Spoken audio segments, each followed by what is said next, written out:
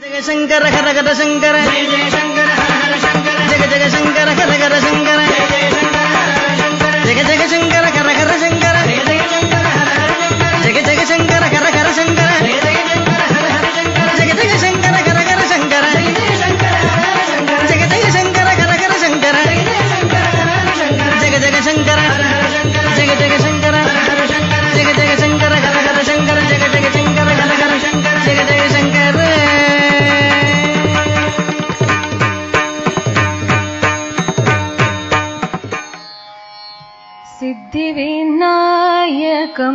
सेवेहम् सिद्धिविनायकम् सेवेऽहम् वरं सिद्धिविनायकं सेवेऽहं वरं सिद्धिविनायकं सेवेऽहं वरं सिद्धिविनायकं सेवेऽहं वरं सिद्धिविनायकं सेवेऽहम् बुद्धिदेवी वरं भोगिकङ्कणकरम्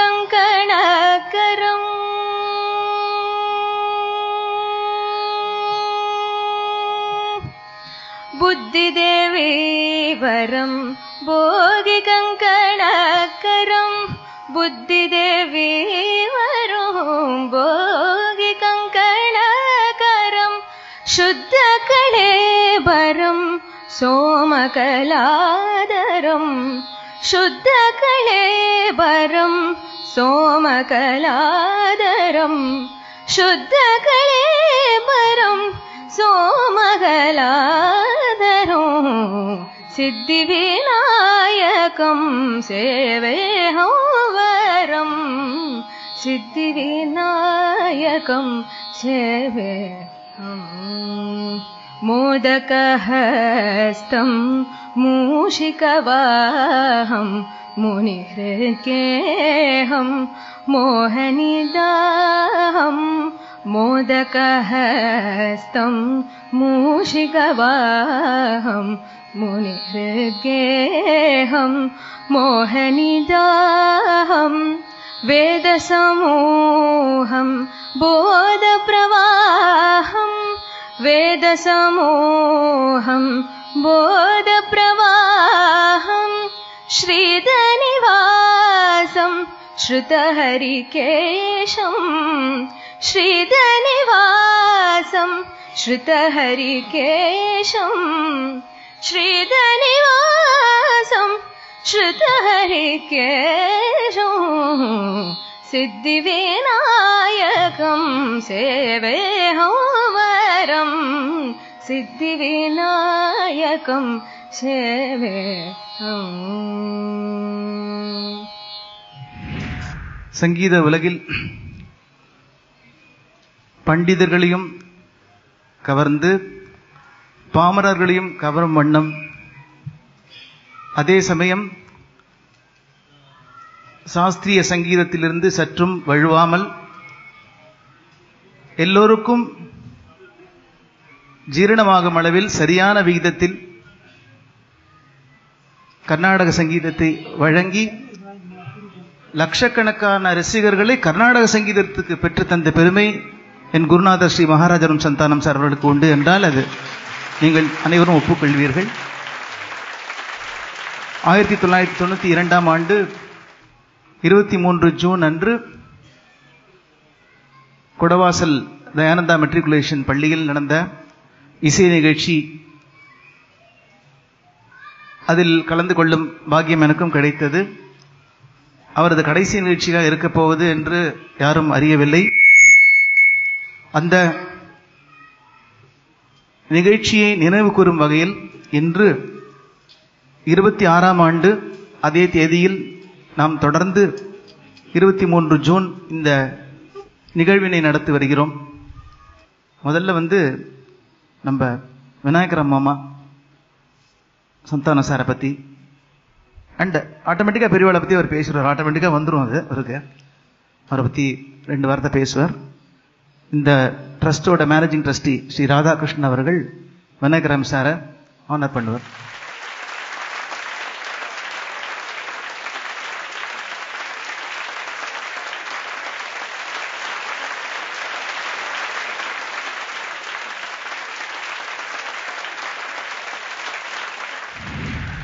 சுப்பிரமணியாய சுவாமிநாதாய சந்திரசேகரின் திராய பாத நமஸ்தே நமஸ்தே.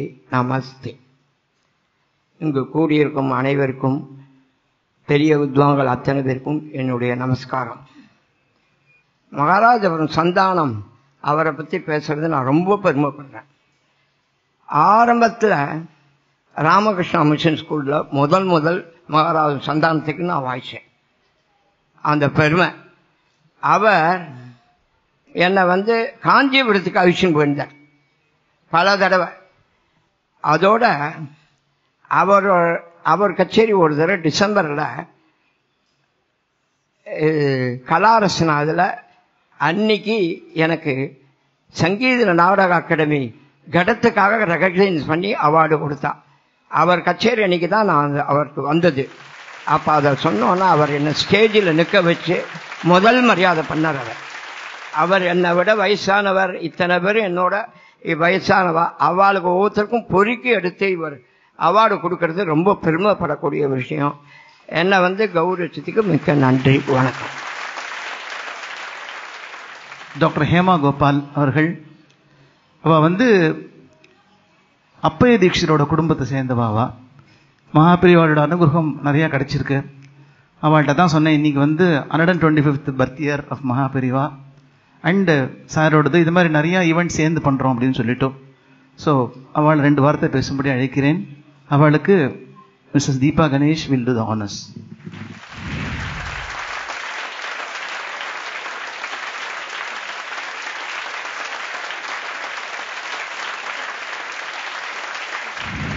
மேடையில் கூடியிருக்கிற எல்லா பெரியவாளுக்கும் இங்க வந்திருக்கிற வந்திருக்கப்பட்ட ஆன்றோருக்கும் என்னுடைய மனமார்ந்த நமஸ்காரத்தை தெரிவித்துக் கொள்கிறேன். மகாராஜபுரம் விஸ்வநாதையர் ஆயிரத்தி தொள்ளாயிரத்தி ஐம்பத்தி மூன்றாவது வருஷம் ஜம்புலிங்க முதலி தெரு நுங்கம்பாக்கத்துல வந்து தங்கியிருக்கிறச்சே அவர் வந்து விநாயகுனி பாட்டை பாடியிருந்தார். அது பக்கத்துல வந்து பெரியவா தங்கியிருந்தா. அவரால் அந்த பூஜையிலேருந்து க- தொடர முடியாதபடி அவர் வந்து அங்க பக்கத்துல ஆத்துல வந்து அவரை வந்து பார்த்துட்டும் நீ அந்த பாட்டெல்லாம் பாடினேன்னு சொல்லிட்டு ஒரு ரெண்டு மூணு பாட்டு அவரை பாட சொல்லி அவரை வந்து கேட்டா. அப்போ வந்து விஸ்வநாதையர் சொன்னாரா எனக்கு வந்து ஒன்றும் ஆச்சாரம் அனுஷ்டானம்லாம் தெரியாது. எனக்கு இந்த மாதிரி பாட்டுக்கலை இந்த வித்தை தான் எனக்கு வந்திருக்கு அப்படின்னோடனே உனக்கு வந்து உடம்புலயே காமாட்சி ரேகை ஓடுறது. நீ வந்து உன்னுடைய பா மாலைய பூ மாலையா பகவ அம்பாளுக்கு சாத்து. அது போறோம் அப்படின்னு நினைச்சிருந்தாராம். அந்த மாலைன்னு சொன்ன உடனே அவருக்கு வந்து அவர் கழுத்துல பெரியவாளோட கழுத்துல பெரிய ருத்ராட்சத்தை பார்த்தாராம். அதை பார்த்த உடனே இது நமக்கு கிடைக்காதா? இந்த மாலை நமக்கு கிடைக்காதா? அப்படின்னு அவருக்கு ரொம்ப ஆதங்கமா. ஆனா ஆயிரத்தி தொள்ளாயிரத்தி எழுபதாவது வருஷம் அவரை பத்தி நிறைய பாட்டுகள்லாம் பாடி அவர் வந்து முக்தி அடைஞ்சுட்டார். கரெக்டா ஆயிரத்தி தொள்ளாயிரத்தி எண்பத்தி மூணாவது வருஷம் இதே மாதிரி இவர் மகாராஜபுரம் சந்தானம் அவர்கள் வந்து பெரியவாள் முன்னாடி பாடிண்டே இருக்கிறச்சே அவர் வந்து கூப்பிட்டு நீ மோகனத்துல வந்து பிறந்து கட்டு அப்படின்னு சொல்லி அவரை கூப்பிட்டு நிறைய பாட சொன்னாராம். நீ மோகனத்தை மோகனமா பாடு அப்படின்னு.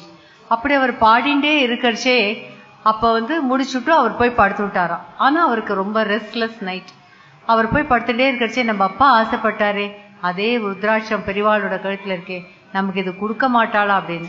பார்த்தானாக்க பக்கத்துல கார்த்தால மூணு மணிக்கு ஏதோ ஒரு சத்தம் கேட்டுதான் பெரிவா வந்து தன்னுடைய அறையை தானே பெருக்கி சுத்தம் பண்ணிட்டு இருக்காராம். அவருக்கு ரொம்ப ஆச்சரியமா. அப்ப வந்துட்டு இவர் எழுந்து வந்து என்ன பெரியவா நீங்க வந்து சுத்தம் பண்ணிட்டு இருக்கீள்? அப்படின்னு கேட்டுட்டே இருக்கிறச்சே நான் முடிச்சுட்டு ஒன்னு சொல்றேன் பாரு அப்படின்னாராம். சரி இவருக்கும் மனசுல ஒரு இதுவா ஆசையா அந்த உத்ராஷ நமக்கு கிடைச்சா நன்னா இருக்குமே நம்ம அப்பா ஆசைப்பட்டா நமக்கு கிடைச்சா. கரெக்டா அது வந்து கையை அலமிண்டு பெரிவா தன்னோட கழுத்திலேருந்து கட்- கழட்டி நீ பாடின மோகனத்துக்கு இந்த மாலை தான் உனக்கு வந்து இதுன்னு சொன்னாராம். அந்த இருபத்தி கிட்டத்தட்ட முப்பது வருடங்கள் கழித்து அவருக்கு வந்து கிடைச்சது. தேங்க்யூ இப்போ கட்டம் மேஸ்டோ விநாயகரம் சார் மதுரை ஜிஎஸ்யூனி மாவா அவர்களுக்கு கௌரவம் வழங்குவார்கள்.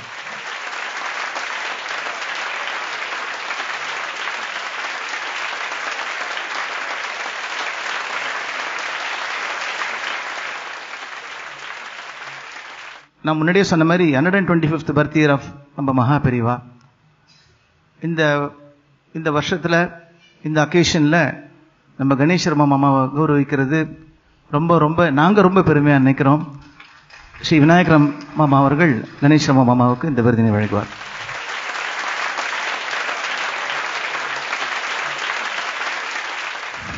மகராஜபுரம் சந்தானம் சார்ட்ட நான் குருகுலவாசம் பண்ணியிருந்த போது அவர் வந்து திடீர்னு ஓம் சரவண பவான் ஒரு ஆல்பம் பண்ணணும்னு ஏவிஎம்லேருந்து அப்ரோச் பண்ணினான். அது முருகன் பாட்டெலாம் நிறையா எல்லாம் எடுத்தார். புதுசாக ஏதானும் பண்ணணும்டா யாரானும் அப்படின்ட்டு தென் நான் சஜஸ்ட் பண்ணேன் என்னோட அத்திம்பேர் ஸ்ரீ சோமு அவர்கள் பெரிய கம்போசர் ஆயிரத்தி இரநூறு பாட்டுக்கு மேலே போட்டிருக்காரு அவர். அதுவும் இன்னைக்கு வந்து ஐயப்பனுக்கு வந்து எவ்வளோ டிவோட்டிஸ் கிடைச்சாருன்னா அவரோட பவர் சந்தேகமே இல்லை. ஆனால் இவனோட பாட்டு மூலமாக நிறைய டிவோட்டிஸ் கிடைச்சிருக்கா. இன்றைக்கும் வந்து ஐயப்ப சீசன் போனால் ஃபஸ்ட்டு வந்து நீங்கள் பார்த்தேன்னு வச்சுக்கோங்களேன் வேஷ்டி வாங்குவான் துளசி மாலை வாங்குவான் ஒரு பள்ளிக்கட்டு சரவணைக்கு சிடி வாங்குவோம். அப்படிதான் அந்த அந்த சேல் போயின்னு இருக்கு இன்னைக்கும். இன்றைக்கும் வந்து டிவோஷனல் ரெக்கார்டில் வந்து இந்த அந்த ஐயப்பன் சிடியை இன்னும் பீட் பண்ணுறதுக்கு இன்னும் சிடியே வரல. அந்த அளவுக்கு ஒரு பெரிய ஒரு contribution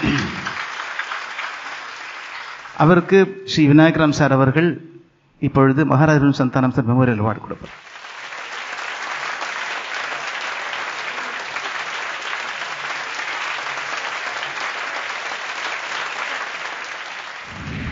Last but not the least இன்னைக்கு நாம சங்கீர்த்தனம் கேட்டகரியில் இன்னைக்கு நம்ம ஆனர் பண்ண போகிறது ஸ்ரீ டைகர் வி சுப்பிரமணியம் அவர்கள்.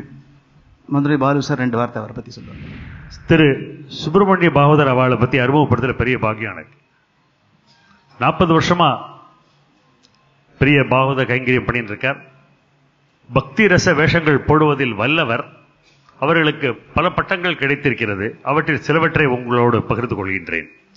அகில பாரத பா அகில பாரத பாகவத சம்மேளனம் நடந்தது கும்பகோணத்தில் ஆயிரத்தி தொள்ளாயிரத்தி எழுபத்தி ரெண்டில் அவர்களுக்கு கிடைத்தது. மயிலாடுதுறையில் ராதா கல்யாண உற்சவத்தில் இருபத்தஞ்சு ரெண்டு ரெண்டு இரண்டாயிரத்தி ஏழு அன்று பால டைகர் என்ற பட்டம் அவர்களுக்கு அடிக்கப்பட்டது அதிலிருந்து தான் அவர்கள் டைகர் சுப்பிரமணியம் என்ற பட்டம் வந்தது. ரெண்டாயிரத்தி பதினேழில் நாம சங்கீர்த்தன கைங்கரிய மணி என்ற பட்டம் அவர்கள் எழுதி கௌரவிக்கப்பட்டிருக்கின்றார்கள். அவர்களை இந்த எங்களது ட்ரஸ்டில் ஆனர் செய்வதில் பெரும் மகிழ்ச்சி அடைகின்றோம். நமஸ்காரம்.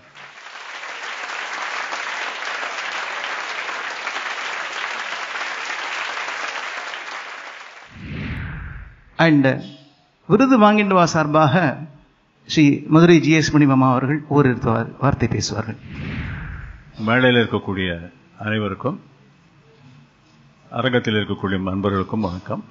என்னுடைய நெருங்கிய நண்பர்களை பார்க்கிறேன் இங்கே. நெருங்கிய சக வித்வான்களும் இருக்கிறார்கள். சந்தானத்தை பற்றி ஒரே ஒரு ரொம்ப சொல்லணும் மற்ற நிறைய பேசிட்டாங்க. நாங்கள் நான் சந்தானத்தை சந்தானம்னு கூப்பிட்டு பழக்கம் இல்லை. சுந்தரத்துக்கு தெரியும் வந்திருக்கு. சின்ன கோண்டுன்னு தான் நாங்கள்லாம் கூப்பிடுவோம் அவர். ஏன்னா பிரதர் வந்து பெரிய கோண்டுன்னு பேர். ரொம்ப we were very close in the sense நிறைய பார்த்துக்கிறது இதுக்கெல்லாம் முடியாது அவர் அடிக்கடி சஞ்சாரத்தில் இருப்பார். நாங்களும் இங்கே இங்கே எங்கேயாவது போயிட்டு இருப்போம் இங்கே பார்த்த நேரத்தில் பழைய கதைகளை பேசிட்டு உட்காந்துட்டு இருப்போம் அது ஒரு சந்தோஷம். பெரியவர் கணேச சர்மா உட்கார்ந்துட்டு இருக்கார் உபன்யாசம். உபன்யாசகர். அவர் அவர் பக்கத்தில் அவர் பக்கத்தில் உட்காந்துருக்கிறப்ப எனக்கு என்ன தோணுதுன்னா நான் சின்ன வயசுலேருந்து கேட்ட உபன்யாசகாரோடைய பேரெல்லாம் ஞாபகம் வந்தது பௌரம் ராமசாஸ்திரிகள் கொத்தங்குடி மகாதேவ சாஸ்திரிகள் மாயவரம் சிவராமகிருஷ்ண சாஸ்திரிகள் சேங்காலிபுரம் அந்தராம தீட்சிதர் மதுரை சேஷபாகவதர் சிவகங்கை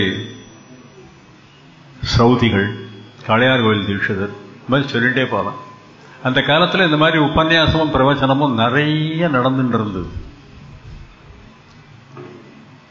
அவ்வளவு இல்லை.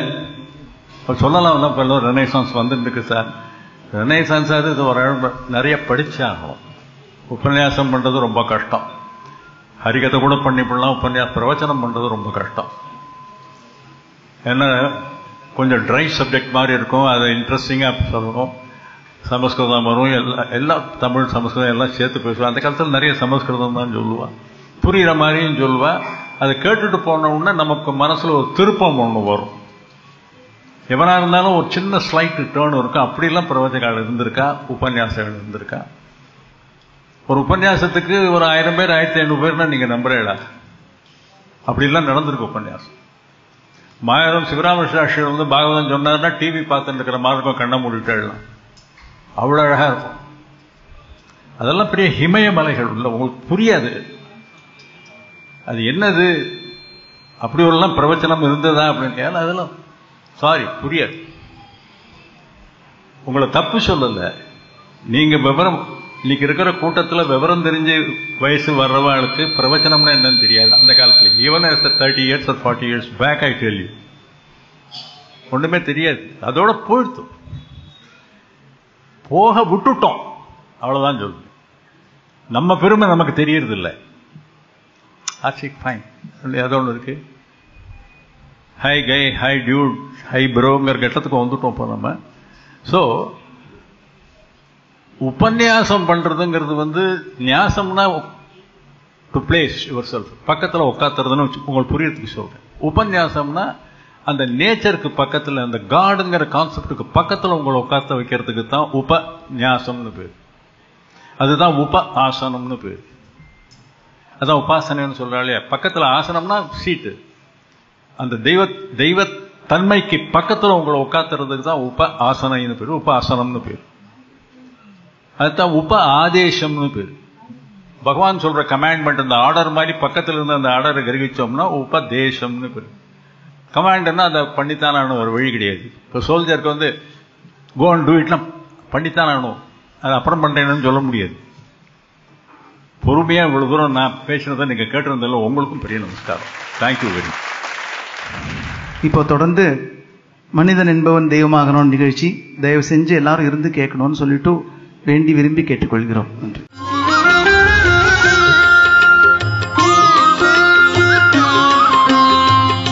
ஆனை முகத்தனே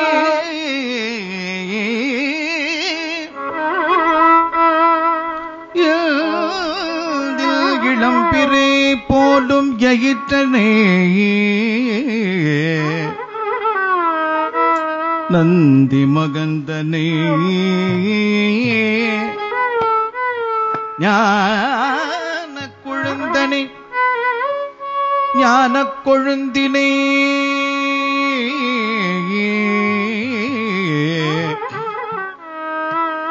புந்தியில் வைத்து கடி போற்றுகின்றேனே.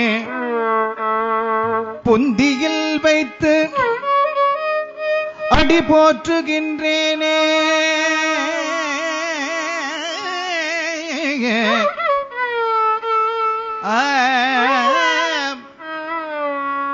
அழுந்தொரும் நமை அணைக்கும் அன்னை. நாம் அறிவிலாது ஓடி ஓடி விழுந்தொரும் எடுக்கும் அப்பா.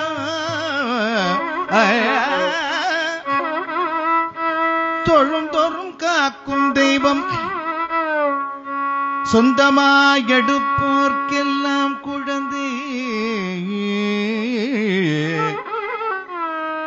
விளையாடும் தொறும் தோழ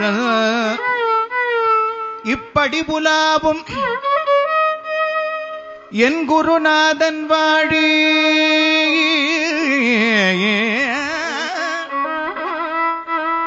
குருநாதன் வாழி. குருநாதன் வாழி. நடமாடும் தெய்வமே. காஞ்சியிலே நடமாடும் தெய்வமே. காஞ்சியிலே நடமாடும் தெய்வமே. காமகோட்டி கருணா மூர்த்தியே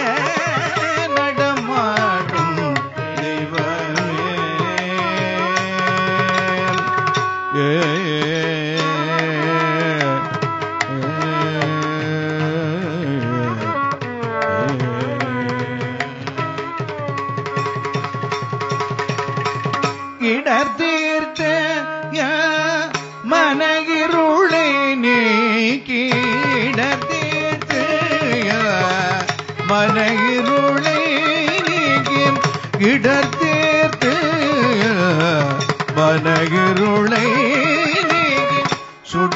நீக்கி காட்டிடும் ஞான குருவே சுடரொளி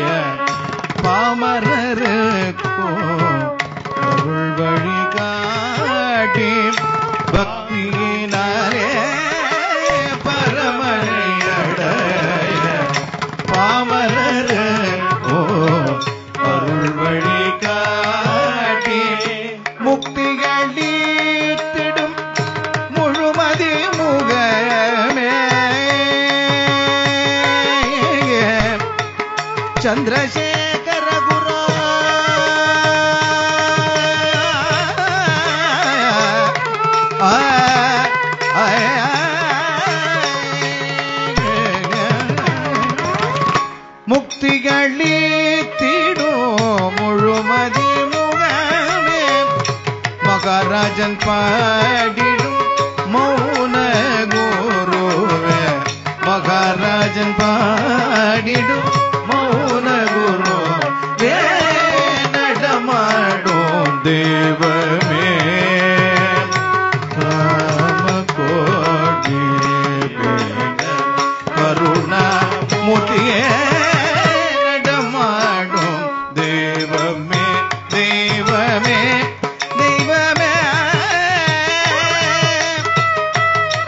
Sandra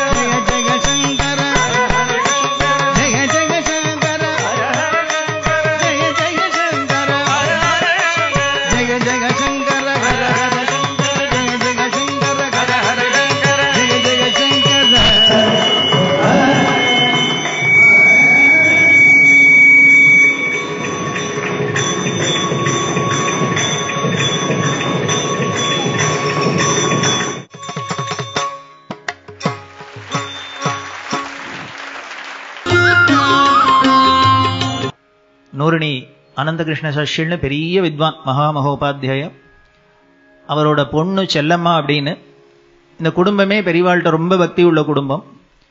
இந்த நூரணி அனந்தகிருஷ்ண சாஷியல் முதல்ல காசியில இருந்தார் பனாரஸ் இந்து யூனிவர்சிட்டியில் இருந்தார். அதனால இந்த அம்மாவும் அங்கேயே இருந்தா.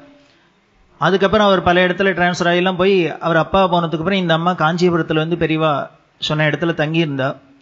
ஒரு நாளைக்கு பெரியவாளை தரிசனம் பண்ணி இந்த செல்லம்மா நிற்கிறா காசியில இந்த செல்லம்மாவோட ஃப்ரெண்டா இருந்த ஒரு பாட்டி. அந்த பாட்டி ரொம்ப நாளைக்கு அப்புறம் இவளை பார்க்கல. இங்க பெரியவாள்கிட்ட பார்த்தோன்னே அடி செல்லம்மா நீ இங்க இருக்கப்போ? அப்படின்னா அதுக்கு உடனே பெரியவா பதில் சொல்றா அவ இப்போ ஒரு இன்ச்சு கூட இருக்கா? அப்படின்னு இவா பேசி நிற்கிறத அவர் ஒட்டு கேட்டிருக்காருன்னு அப்புறம் தான் தெரிஞ்சுது. அவ இப்போ ஒரு இன்ச்சு கூட இருக்கா? அப்படின்னா என்ன வேற ஒண்ணும் இல்லை. முதல்ல காசியில இருந்தாலும் இப்போ காஞ்சியில இருக்கா? காசிக்கும் காஞ்சிக்கும் ஒரு இன்ச்சு தானே வித்தியாசம். அப்போ இப்போ ஒரு இன்ச்சு கூட இருக்கா அப்படின்னு. இதுக்கு செல்லம்மா பாட்டி சொன்ன வியாக்கியானம். பெரியவா வெறும் லெட்டர்ல தான் ஒரு இன்ச்சு கூடன்னு சொன்னா காசி எழுதி நடுப்புற ஒரு இன்ச்சு போட்டா காஞ்சி வந்துடுது ஆனா நிஜமாவே காஞ்சி தான் காசியை விட ஒரு இன்ச்சு கூட. ஒரு இன்ச்சு என்ன ஒரு முழம் கூட வச்சுக்கலாம். ஏன்னர் நம்ம பெரியவா இருக்கிற இடம்டா காமாட்சி இருக்கிற இடம். அதாவது சைவம் வைஷ்ணவம் சாக்தம் கௌமாரம்னு ஷண்மதத்துல அத்தனைக்கும் ஒரு ராஜதானியா இருக்கிறது காஞ்சிபுரம். கற்றோர் சிறந்த காஞ்சி தொண்டை நாடு சான்றோர் இடைத்து அப்படின்னு அதோட காஞ்சியோட பெருமையை சொல்லி மாளாது.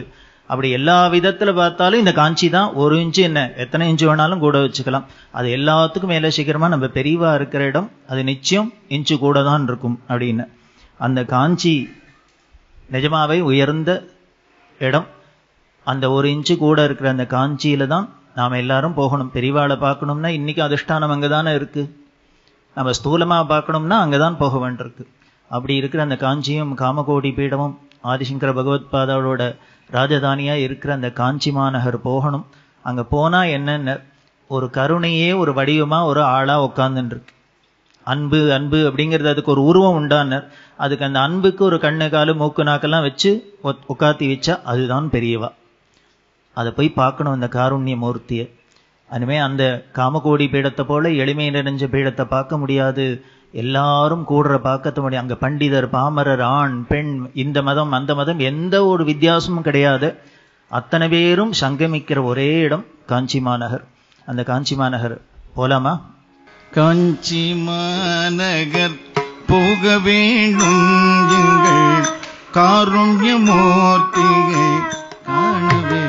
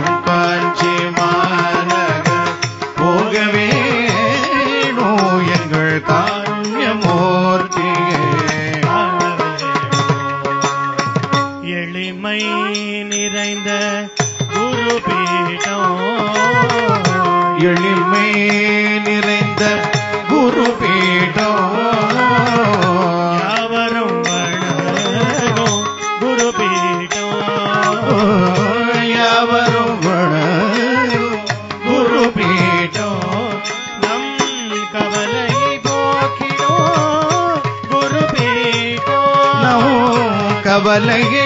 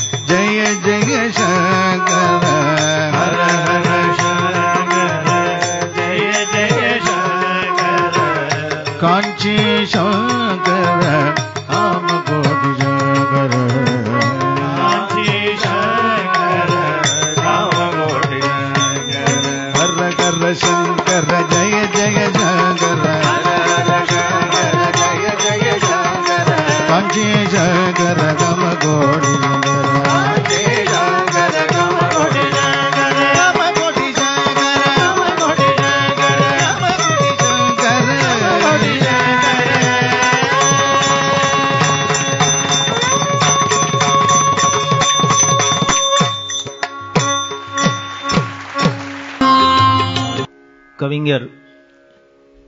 மனுஷன் தெய்வமாலன்னா வாரி வாரி வழங்கணும் அப்படின்னு ஒரு கண்டிஷன் போடுறார் ரொம்ப கஷ்டமான காரியம். ஒண்ணுமில்லை இல்லை நூறுரூவாய்க்கு சில்லற இருக்கானாலே பார்க்குறேங்கிறோம் அப்படி இருக்கிற உலகத்துல வாரி வாரி வழங்கணும். அப்படின்னா முடியுமா? அப்படின்னு. பெரியவா உள்ள உட்காந்து மத்தியானம் ஒரு நாளைக்கு பேசின்னு இருக்கா? யாரோ பத்து பேர் உட்காந்துருக்கா எல்லாரும் பேசின்னு இருக்கா? ஒரு ஆளு கிடுகிடுன்னு ஓடி வந்தார். ஓடி வந்தவர் அந்த கூட்டத்தில் நடுப்புற உட்காந்துட்டார் உட்கார்ந்துட்டா பெரியவா பார்த்தா. பேச்சை எடுத்துட்டு அவர் யாரு? அவரை கூப்பிடு முன்னால அப்படின்னு. அவர் வந்தார். பார்த்தாலே தெரியுது ஒரு மாதிரி கலவரமா பயந்துன்னு இருக்காருன்னு தெரியறது. உட்காந்து வச்சு ஆசுவாசப்படுத்தி என்ன ப்ராப்ளம் உனக்கு? எதுக்கு எங்கேருந்து வர? ஏன் இது மாதிரி பதட்டமா இருக்க? என்ன விஷயத்தை சொல்லு? அப்படின்னு. இல்லை என்னை ஒருத்தன் அடிக்க வரான். துரத்தின்னு வரான் பெரிய அடுத்த வார்த்தை கேட்கிறா நீ என்ன தப்பு பண்ணினேன்னா? ஏன்னா ஒருத்தர் ரோட்ல பரவா சும்மா அடிப்பாளா? என்ன? ஏதோ ஒருத்தர் அடிக்க வர்றாருன்னா ஏதோ தப்பு பண்ணிருக்கணும் நீ என்ன தப்பு பண்ணின? அப்படின்னா அவர் சொன்ன நான் ஒன்றும் பெருசா தப்பு பண்ணல. என்ன? அப்படின்னு அவர்கிட்ட கடன் வாங்கினே திருப்பி கொடுக்கலன்னு. அது ஒன்றும் தப்பே இல்லையே இந்த காலத்துல. அது எவ்வளவு கூட நிறைய வாங்குறோமோ கொடுக்காத இருக்கலாம். பெரியவா கேட்டா நீ கடன் வாங்கிட்டு திருப்பி கொடுக்கலன்னா தப்பு இல்லையான்னா? அவர் அடிக்காத என்ன பண்ணுவார்னா பணம் கொடுத்தவன் என்ன பண்ணுவான்? இல்ல என்னால திருப்பி கொடுக்க முடியல. அப்படின்னு சரி திருப்பி கொடுக்க முடியலன்னு தெரியுமோ இல்லையா அப்ப ஏன் கடன் வாங்கினேன்? வேற வழி இல்லை எனக்கு பெரிய குடும்பம் அதை காப்பாத்துறதுக்கு எனக்கு போறல அதனால வாங்கினேன். அப்படின்னு சரி கடன் வாங்கியே காலக்ஷேபம் பண்ணிட முடியுமா நான் ஆயுசு முழுக்களும் நமக்கு போறலைன்னால் வருமானம் போறலைன்னா செலவை தான் குறைக்கணும். இல்லையா வருமானத்தை பெருக்கிக்கணும். ரெண்டு முடியலன்னா கடன் வாங்கி எத்தனை நாளைக்கு காலக்ஷேபம் பண்றது? முடியாது அப்படின்னு. உடனே கூட இருந்தவர்கிட்ட சொன்னா இவரை துரத்திண்டு யாரோ வந்தான்னா இவர் உள்ளுக்குள்ள தப்பிச்சுன்னு ஓடி வந்திருக்கார். அதனால இந்த தெருவில் தான் அந்த ஆள் தேடின்னு நிற்கணும் இருந்தான்னா போய் கூப்பிட்டு அந்த ஆளான்னார் நீ கடன் வாங்கினவர் எப்படி இருப்பாருன்னு அடையாளம் கேட்டார் தலையில டர்பன்லாம் கட்டிண்டு இந்த பட்டாணிக்காரன் அப்படி இருப்பாருன்னார் அங்கதான் இருக்காரா பாரு கூப்பிட்டு வந்தார். இந்த ஆளு பயந்தார். இல்ல இல்ல அவர் என்ன எப்படியானும் அடிக்கணும்னு காத்துட்டு இருக்காரு. அவர் வந்தாருன்னா நான் இங்கேயே மாட்டின்னு விடுவேன் வந்தப்புறம் என்ன ஆறுதுன்னு பார்க்கலாம். வெறும் வெயிட் பண்ணு. அவர் போய் கூப்பிட்டு வந்தார். அந்த ஆளு வந்தார். ரெண்டு பேரையும் உட்காத்தி வச்சா. அவர்கிட்ட கேட்டா நீ இவருக்கு கடன் கொடுத்தியா? ஆமா. எவ்வளவு கொடுத்தா? இத்தனை கொடுத்தேன். அவர் சொன்னார் இத்தனை நாள் ஆச்சு சரஜாப் சொல்லிட்டே இருக்காரு. எப்ப பார்த்தாலும் தப்பிச்சுன்னு இருக்காரு. ஒன்னும் கொடுக்க மாட்டேங்கிறார். அதனால இன்னைக்கு ரெண்டுல ஒண்ணு பண்றதுன்னு வச்சுட்டேன். ஒன்று அவர் கொடுத்த பணத்தை வாங்குறது இல்லையா அவர் உயிரை வாங்குறது. அந்த ஸ்டேஜுக்கு போயிடுது நிலைமை. உடனே பெரியவா சொல்றா அவர் இல்லைன்னு தானே உங்ககிட்ட வாங்கினார். வச்சுன்னா இருக்க மா கொடுக்க மாட்டேன்னு சொல்றார். ஒன்று தெரிஞ்சுக்கோ. உங்ககிட்ட ஏதோ ஜென்மாந்தரத்தில் சுகிருதம் இருந்தது புண்ணியம் இருந்தது உங்ககிட்ட பகவான் நிறையா கொடுத்து வச்சிருக்கார். அதை கொடுத்து வச்சதை அடுத்த வாளுக்கு உதவுற நல்ல குணம்தான். கடனை கொடுக்குற. ஆனால் திருப்பி கொடுக்கலங்கிறதுக்காக இந்த அடிப்பேன் உதப்பேன் கொல்லுவேன்னு அப்படி அலையாது. அப்படின்னு. அவர் சொன்னார் நான் எப்பொழுதும் பண்ணல இவர் கொடுக்க மாட்டேன்னு இவ்வளவு பண்ணா அதுக்கப்புறம் நான் என்ன பண்ண முடியும் கடைசி பட்சமாக தான் இதை பண்றேன்னு. உடனே பெரியவா சொல்றா சரி இங்க இருக்கட்டும் அப்படின்னார். கூட கொட்ட கார்த்தால பாம்பேலேருந்து வந்தாரு. ஒரு பெரிய மனுஷர் வந்திருக்கார். அவர் இங்க இருக்காரா? அவரை கூப்பிடுவார் அவர் வந்தார். அவர் எதுக்காக வந்திருக்காருன்னா அவர் ஏதோ பிசினஸ்ல பெரிய ப்ராஃபிட் வந்தது. அதுக்கு பெரியவாளுக்கு காணிக்கையா செலுத்தணும்னு மூட்டை பணம் கொண்டு வந்திருக்கார். கார்த்தால அவர் கார்த்தாலேருந்து அவர் கொண்டு வந்து அர்ப்பணம் பண்ணா பெரியவா வாங்கிக்க மாட்டேங்கிற. ஒரு சன்னியாசிக்கு பணம் கொண்டு கொடுப்பாளோ யாரானோ. எதுக்கு? எனக்கு எதுக்கு பணம்? நானும் ஒரு ஆண்டி. எனக்கு எதுக்கு பணத்தை கொண்டு வந்தேன்? அவர் சொன்ன நீங்க வெறும் ஆண்டி இல்லை. எங்களுக்கெல்லாம் பிரத்யட்ச தெய்வம் நடமாடும் தெய்வம். அதனால கோவில்ல காணிக்கையா செலுத்துறோம் ஏத்துக்கு தான் வேணும். எனக்கு என்ன செலவு இருக்கு? குடும்பமா குழந்தையா குட்டியா? மடம் இருக்கே அதுக்கு செலவழிக்கலாமே. வாங்கிக்க மாட்டேன்னு அங்க தகராறு கார்த்தால. இப்ப அவர்கிட்ட கேட்டா எனக்குன்னு கொண்டு வந்தியே அந்த பணத்தை இருக்கா வச்சிருக்கியா? இங்கதான் வச்சிருக்கு. ஒன்று பண்ணு. இவர் அவர்கிட்ட கடன் வாங்கியிருக்கார். அந்த ஆள்கிட்ட வட்டியோடு சேர்த்து எவ்வளவுன்னு கேளு. அந்த பணத்துலேருந்து எல்லாத்தையும் அடைச்சி இவரை ரிலீவ் பண்ணிடுறியான்னு. அவர் சொன்னார் எனக்கு என்ன பெரியவாளுக்குன்னு கொண்டு வந்து பெரியவா எப்படி செலவழிக்க சொல்கிறாலோ செலவழிச்சுட்டு போகிறேன் செட்டில் பண்ணுன்னா செட்டில் பண்ணியாச்சு. இந்த பட்டாணிக்காரருக்கு ஒரே சந்தோஷம். பெரியவாளை பார்த்து பிரமிச்சு போய் நிற்கிற இது இந்த கடன் வரவே வராது அசலே வராதுன்னு நினச்சா இது மொத்தமாக வந்துடுத்து கையில் ஒரு பழத்தை கொடுத்தா இன்னுமே ஒன்று வச்சுக்கோ. உங்ககிட்ட இருக்கிற பணத்துக்கு ஐஸ்வர்யத்துக்கு நீ ஓனர்னு நினச்சிக்காத. ட்ரஸ்டின்னு நினச்சிக்கோப்பா. அப்படின்னு நாங்கள்லாம் மாற்றி நினச்சிக்கிறோம். ட்ரஸ்டியாக இருந்தாலே ஓனராக நினச்சிக்கிறோம். ஆனால் பெரியவா சொல்கிறா உன்னை ஓனர்னு நினச்சிக்காத ட்ரஸ்டின்னு நினச்சிக்கோ. ஏதோ நம்மள்ட்ட பகவான் கொடுத்து வச்சிருக்க இதை யாருக்கு என்னென்ன ஹெல்ப் பண்ணலாங்கிற வச்சுக்கோப்பா. ஆனந்தமாக இருக்கலாம்ப்பா. அப்படின்னு சொல்லி அவர் அனுப்பிச்சா இந்த கடன் அடைஞ்சவருக்கு என்ன பண்றதுன்னு தெரியல. கண்ணால தண்ணி தனியா கொட்டுறது. யாருன்னே இவரை தெரியாது முன்ன பின்ன தெரியாது. ஓடி வந்து ஒளிஞ்சின்ற இடம் எப்படி இருக்குன்னு அதான் ஓடி போனா கூட பெரியவா மாதிரி இல்லை மடத்தை பார்க்க ஓடணும். வேற எங்கேயானு போனா மாட்டி போகும். அதுதான் பெரியவா சந்நிதி. அப்புறம் இவர்கிட்ட சொல்ற இனிமே கடன் வாங்கி கொடுத்தனம் பண்றதுங்கிறத வச்சுக்காத. சிக்கனமா கொடுத்தனம் பண்ணுன்னு சொல்லிட்டு அவர் அனுப்புறா. இதான் வாரி வாரி வழங்குறது. வந்தவர் யாருன்னு தெரியாது கொடுத்தவர் யாரு தெரியாது போனவர் யாருன்னு தெரியாது. ஆனால் அந்த பணத்துக்கும் தனக்கும் சம்பந்தமே இல்லாத யாராக இருந்தாலும் யோஜனை பண்ணாத வாரி கொடுக்க முடியும்னா இது வள்ளல்களால் தான் முடியும். அவள் தான் என்னென்ன உங்கள் பயோடேட்டா கொடுங்கோ எத்த பண்ணுங்கோ இத்த பண்ணுங்கோ அப்ளிகேஷனில் ஃபில்அப் பண்ணிவிட்டு அப்புறம் கடன் கொடுக்க மாட்டாள் அவள் என்ன பண்ண அந்த கருணை என்ன பண்ண அன்பிற்கு உண்டோ அடைக்கும் தாள். அதுக்கு என்ன? கதவாக இருக்குது பூட்டாக இருக்குது ஷாத்தாக இருக்குது இவாள்கிட்ட தான் காமிக்கலாம் அவள்கிட்ட தான் காமிக்கக்கூடாதுன்னு. அப்படி இருக்கிற அந்த நடமாடும் தெய்வம் அவர் வாழி வாழி வழங்கினத்தினால தான் இன்னைக்கு அவரை தெய்வமா உலகம் கொண்டாடுது. ஏதோ ஸ்தூலமா தான் கொடுத்தாருன்னு இல்லை. இப்பவும் கொடுத்துட்டே தான் இருக்கு. நாம அத்தனை பேரும் என்ன கேட்கிறோமோ அத்தனையும் வாரி வாரி கொடுத்துட்டு காமதேனுவா கல்பக விருட்சமான்னா அப்பேற்பட்ட என்ன பாகிமாம் ரட்சமாம் பாகிமா ரட்சமாம். காப்பாத்து காப்பாத்து காப்பாத்துன்னு அவர்கிட்டனா போய் கத்தணும். அப்படி அந்த பெரியவாளை நாம பாகிமாம் ரட்சமாம்னு எங்க பிரதோஷமாமா ధనం ఏందునోనే சந்திரசேகர పాకిమాం చంద్రశేఖర రక్షమాం சந்திரசேகர పాకిమాం చంద్రశేఖర రక్షమాం காஞ்சிமடேஷ மமதேகி கராவலம்பம் காஞ்சிமடேஷ மமதேகி கராவலம்பம் என்ன கை கொடுத்து தூக்கிவிடு கை கொடுத்து தூக்கிவிடு காப்பாத்து காப்பாத்துன்னு பிரதோஷமாமா கதர்வா அப்படியே நாமளும் பாகிமாம் ரட்சமான பெரியவாளை கூப்பிடுவோம். நிச்சயம் நம்மளையும் காப்பாத்துவா. சந்திரசேகரேந்திர பாகிமா. சந்திரசேகரேந்திர பாகிமா. కుమార శంకర చంద్రశేఖరేంద్ర రక్షమా? జయ శంకర చంద్రశేఖరేంద్ర భావ్యమా హర శంకర చంద్రశేఖరేంద్ర రక్షమా?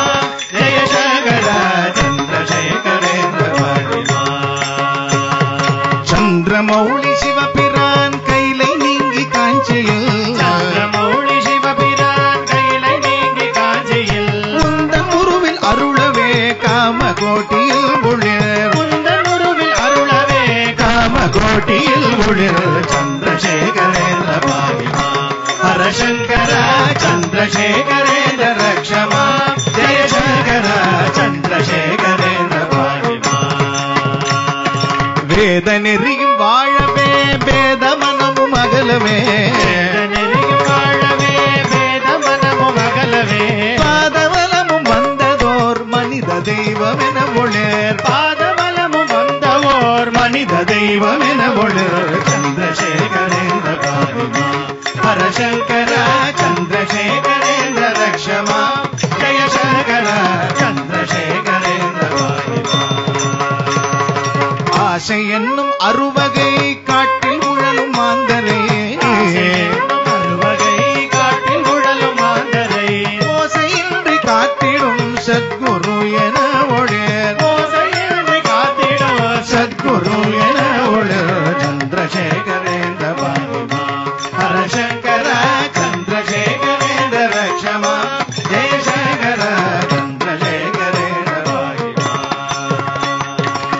இகபரம் எனும் இரு வாழ்வில் வேண்டும் பொருள் பெற. எனும் இரு வாழ்வில் வேண்டும் பொருள் பெற. முகமலர்ந்தருள் செய்யோ முனிவனியன